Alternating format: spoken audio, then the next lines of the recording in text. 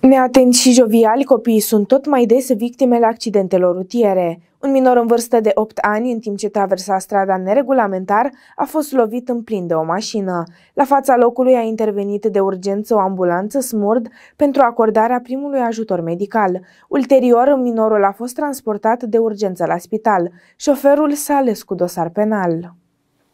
Traversând strada neregulamentar și neatent la trafic, un minor în vârstă de 8 ani a fost lovit de o mașină. Mai exact, încercând să traverseze strada în fugă, chiar pietonul s-a lovit de partea din spate a mașinii. Conducătorul mașinii, o femeie în vârstă de 51 de ani, neavând cum să evite impactul. La fața locului s-au deplasat atât polițiștii rutieri, cât și un echipaj de paramedici care au intervenit cu o ambulanță zmurt pentru acordarea primului ajutor medical. Ulterior, minorul de 8 ani a fost transportat la spital. În acest weekend, pompierii mehedințeni au intervenit la 37 de situații de urgență, dintre care două pentru acordarea îngrijirilor medicale victimelor unor accidente rutiere, alte două pentru stingerea unor incendii, o misiune pentru transportarea unei persoane supraponderale cu probleme medicale, dar și la 32 de urgențe medicale.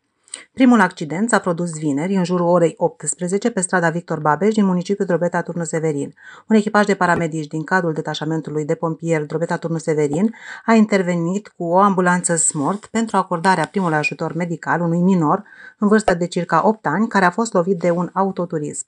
Ulterior, acesta a fost transportat la spital în stare de conștiență. Cel de-al doilea accident s-a produs sâmbătă, în jurul orei 23 și 15 minute, între două autoturisme pe rasa localității Arginești din comuna Butoiești. La locul evenimentului au fost mobilizate două echipaje de pompieri din cadrul stației Strehaia, cu o auto specială cu modul de descarcerare și o ambulanță smurt.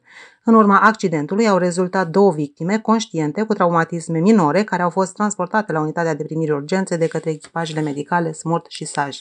Pompierii au asigurat și măsurile de apărare împotriva incendiilor prin deconectarea bornelor de la acumulatorii celor două autovehicule. În cauză, femeia care conducea autovehiculul s-a ales cu dosar penal pentru vătămare corporală din culpă.